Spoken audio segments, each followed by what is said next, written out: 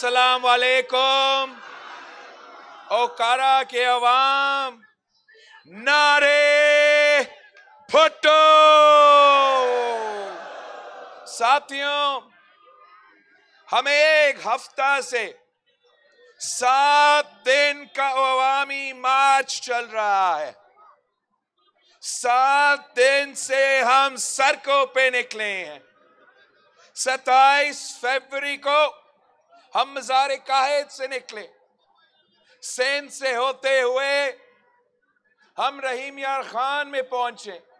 रहीम यार खान से मुल्तान और मुल्तान के बाद कल रात चितर चिचवतनी से होते हुए हम रात 12 बजे साहेवाल पहुँचे थे और जगह जगह जगह जगह हमारा अवामी मार्च का शानदार इस्तकबाल हुआ।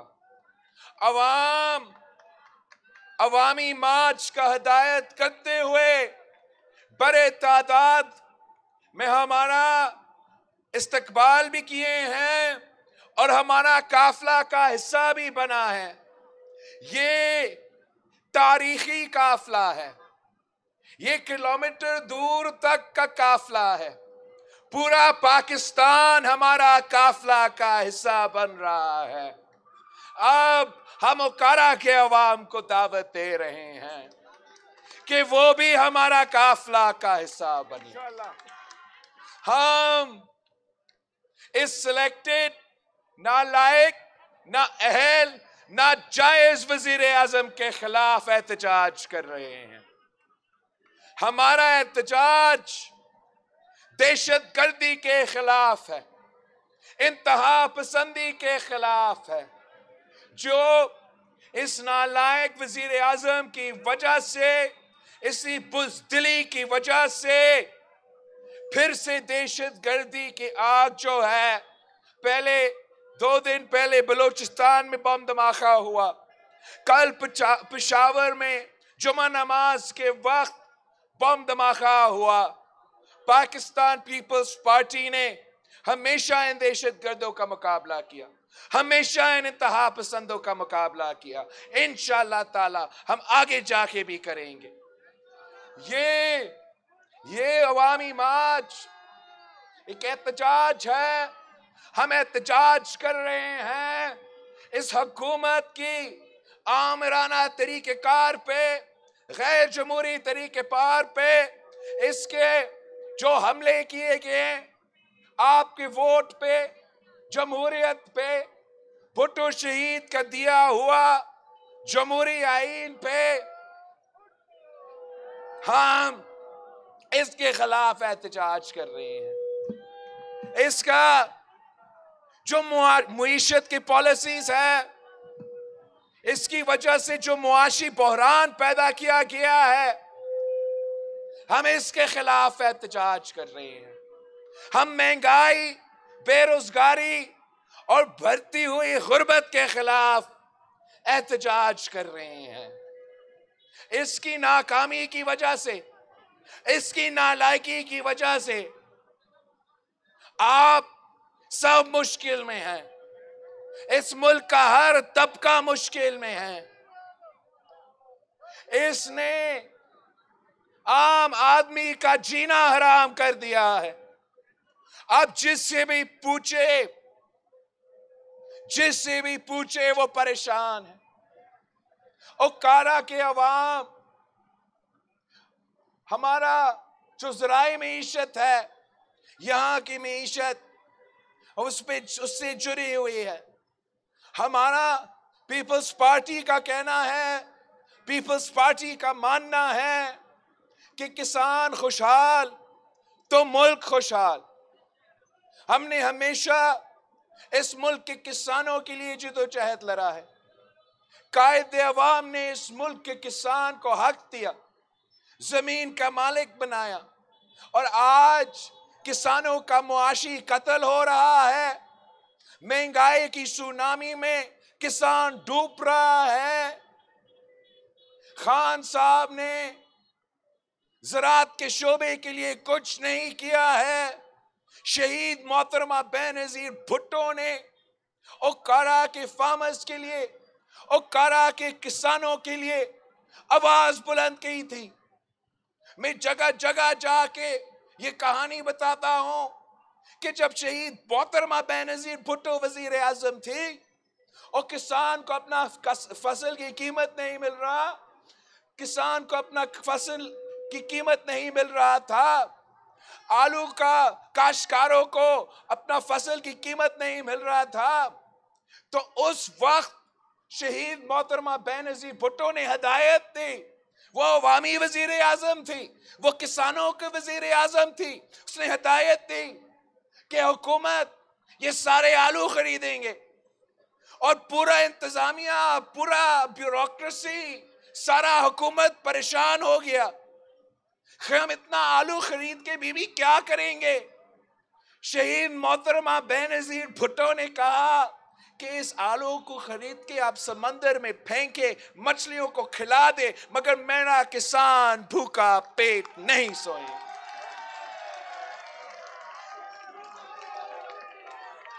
अब हमारा किसान कटारे में खड़े होके धक्के खा रहे हैं एक एक खाद की बोरी के लिए। इसने खाद का बहरान पैदा किया। इसने यूरिया का बहरान पैदा किया। इसने डीएपी का बहरान पैदा किया। और ब्लैक मार्केट से खरीदने पर मजबूर है हमारा किसान भाई। जराए मीशत को तबाह कर दिया है। जब तक जराए मीशत तरक्की नहीं करेगा तब तक पाकिस्तान का मीशत नहीं तरक्की कर सकता है। पाकिस्तान पीपल्स पार्टी ने कल भी इस मुल्क के किसानों की खिदमत की और इंशाल्लाह ताने आने वाले कल में भी हमें इस मुल्क के किसानों के नुमाइंदे हैं, इस मुल्क के किसान के आवाज़ बनेंगे और इनके मिसाइल हल करेंगे। इस वज़ीर आज़म ने सबसे बड़ा धोखा इस मुल्क के नौजवानों से की है। इस मुल्क की वज़ीर आज़म ने इस मुल्क के मुस्तकबिल से झूठ बोला। इस वज़ीर आज़म ने यूथ से किए गए हर वादा पर यू टर्न लिया।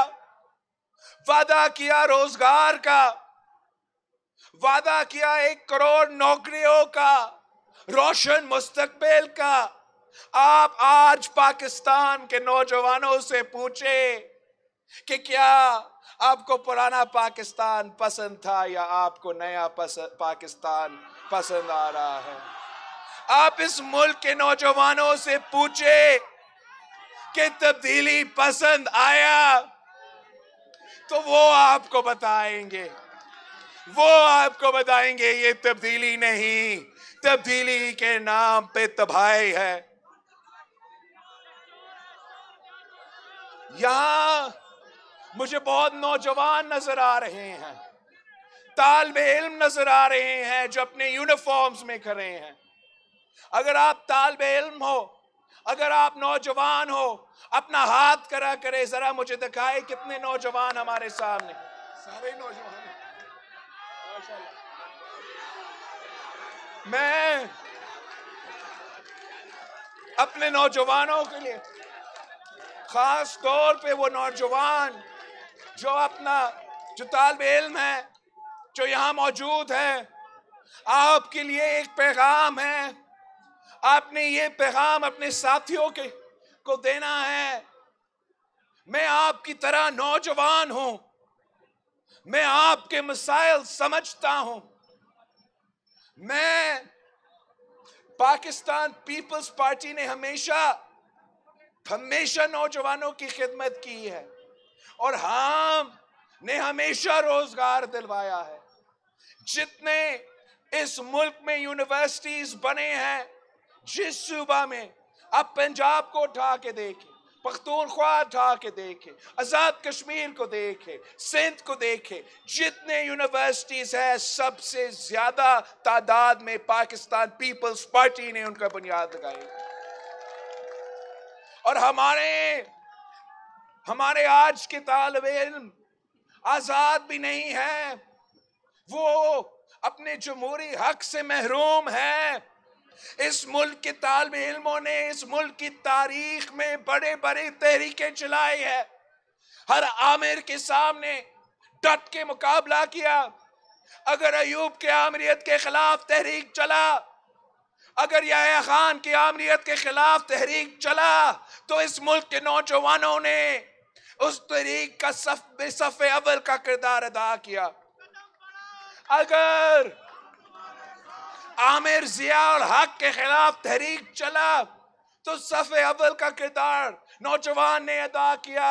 सफ़े अव्वल का किरदार तालब इल्मों ने अदा किया। यही तो वजह है कि जियाउल हक और जियाउल हक के बाकियात ने आपसे, तालब इल्मों से यूनियन साजी का हक छीना। आपकी आवाज़ दबाने की कोशिश की। आपसे से, आपको सियासत से अलग रखा।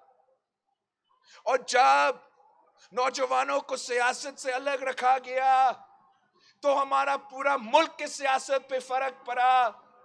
आज अगर हम पूछते हैं कि लिसानी बुनियाद पे, बराबरी की बुनियाद पे, मज़हब के बुनियाद पे सियासत क्यों होता है?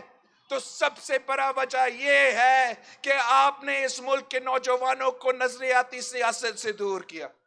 आपने इस मुल्क के नौजवानों को जमहूरी सियासत से दूर किया। पाकिस्तान पीपल्स पार्टी चाहती है कि इस मुल्क के नौजवान अपने मुस्तबिल के फैसले करें। इस मुल्क के नौजवान सियासत करें। ये क्या मज़ाक है कि तालीमी इदारों में टीचर्स का हक है कि वो यूनियन बनाए। हर एम्प्लॉय का हक है कि वो अपना यूनियन साजी करे। मगर आपको रोका जाता है स्टूडेंट्स को रोका जाता है कि वो यूनियन साजी नहीं कर सकते। उनका अपना आवाज़ उन इदारों में जो उनके लिए बने हुए हैं, उन इदारों में उनका आवाज़ नहीं सुना जाता। जब ये बाकी लोग बैठ के स्टूडेंट्स के लिए फैसले लेते हैं तो उन इदारे में स्टूडेंट्स को उन फैसले लेने, लेते हुए स्टूडेंट्स को बताया नहीं जाता। सिंध ने अभी अभी स्टूडेंट यूनियन सिंध में बहाल किया गया।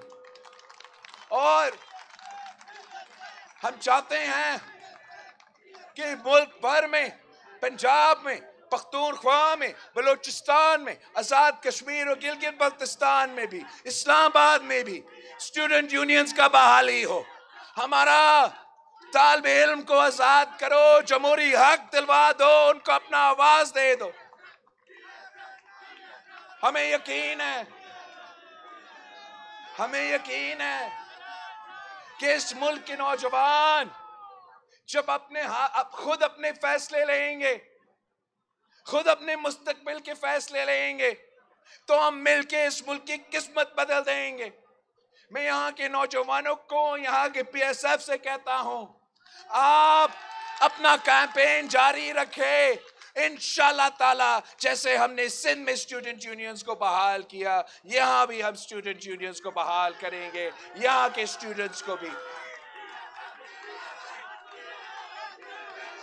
हम तो गरीबों की जमात है, आम आदमी की जमात है। ये कोई नारा नहीं है, ये हमारा हकीकत है। भुट्टो शहीद, बीबी शहीद और आज भी पीपल्स पार्टी आम आदमी का जमात है।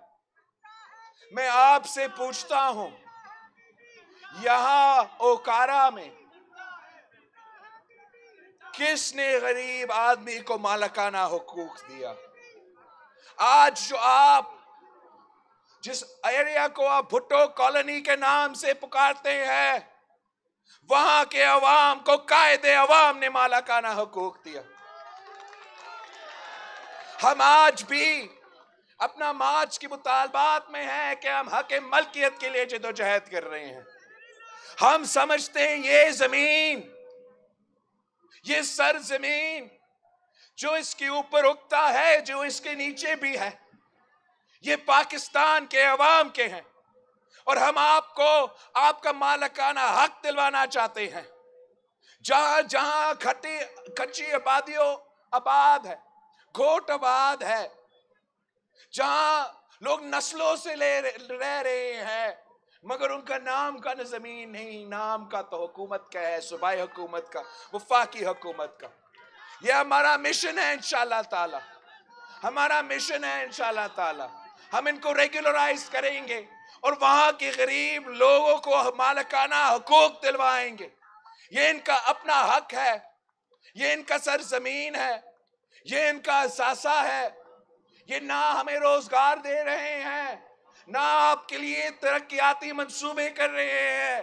कम से कम ये आपका अपना घर, आपका अपना सरजमीन का हक आपको दिलवा दे। ये एक असासा बन जाता है। ये असासा बन जाता है और आम आदमी का असासा बन जाता है। फौरी तौर पे, फौरी तौर पे आपके मीशत में इजाफा होता है, बेहतरी आता है। फाइनेंशली फाइनेंशली तौर पे आपको एक मदद मिलता है। फिर उस उस आदमी का, उस खानदान का मर्ज़ी हो जाता है कि वो क्या करना चाहते हैं। वो इस इस प्रॉपर्टी को अपना खानदान में रखे, आगे अपने नस्लों को दिलवा सकता है। वो अगर बेच के उस पैसा को इस्तेमाल करके अपने मुआशी और बिज़नेस के लिए, हमारा ये मिशन है और इन ताला हम इसमें इसमें भी मुकम्मल कर इसमें भी कामयाब होंगे। इसलिए हम हमेशा हमेशा इस किस्म का काम करते हैं। आज भी इमरान घर बनाने की बात कर रहा है, बात कर रहा है। हम तो पाँच बरला स्कीम, इस पंजाब के अवाम को पाँच बरला स्कीम हमने 1970s में दिया। इस पंजाब के अवाम को हमने 1990s में सात मरला स्कीम शहीद मोहतरमा बेनजीर भुट्टो ने दिलवाई थी। अब तो 2022 है, जिस बंदा ने 50 घर का वादा किया, उसने सरकारा में एक घर भी नहीं बना सका। उल्टा जिसके पास छत मौजूद था, इसने तो गरीबों के सर से छत छीना है। आपका घर रेगुलराइज नहीं हुआ, मगर बनी गाला मुफ़्त में रेगुलराइज हो गया। पहला काम जो इसने किया हुकूमत में आते हुए, अपना घर बचा दिया, गरीब का घर छीन लिया। आज तक अगर इस मुल्क के गरीब तरीन औरतों तक माली मदद, बेनजीर कात की सूरत में मिल रही है तो ये पाकिस्तान पीपल्स पार्टी की करनामा है। हमारे जो सरकारी मुलाजमीन हैं हमारा पुलिस हो, हमारा टीचर्स हो, हमारा अफवाज हो। जब पीपल्स पार्टी हुकूमत में थी, आप इनसे पूछे, अब तो मामूली इजाफा होता है। या इजाफा होता ही नहीं है। तनख्वाह में पेंशन में आप उनसे पूछे। जब सौ फ़ीसद इजाफा हुआ तो सदर जरदारी सदर था।